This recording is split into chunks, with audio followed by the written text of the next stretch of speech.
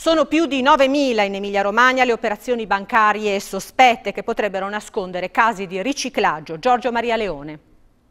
In Emilia-Romagna sono aumentate del 25% le segnalazioni di operazioni sospette di riciclaggio o di finanziamento del terrorismo internazionale. Secondo l'ultimo rapporto annuale di Banca Italia risultano in crescita in tutte le province. In particolare Bologna e Modena hanno superato il tetto delle mille segnalazioni, più della metà dei casi rientra nella classe di rischio medio-elevata. Restiamo quarta regione dopo Lazio, Campania e Lombardia, quindi già questo è molto significativo, con oltre 9.000 operazioni sospette. I settori produttivi interessati in questi nostri territori sono eh, quelli dell'edilizia, delle costruzioni, del commercio, dei servizi che eh, purtroppo e non casualmente sono gli stessi settori economici produttivi eh, interessati, sempre guardando i dati ufficiali, dal crescendo lavoro nero, lavoro irregolare e intermediazione di manodopera.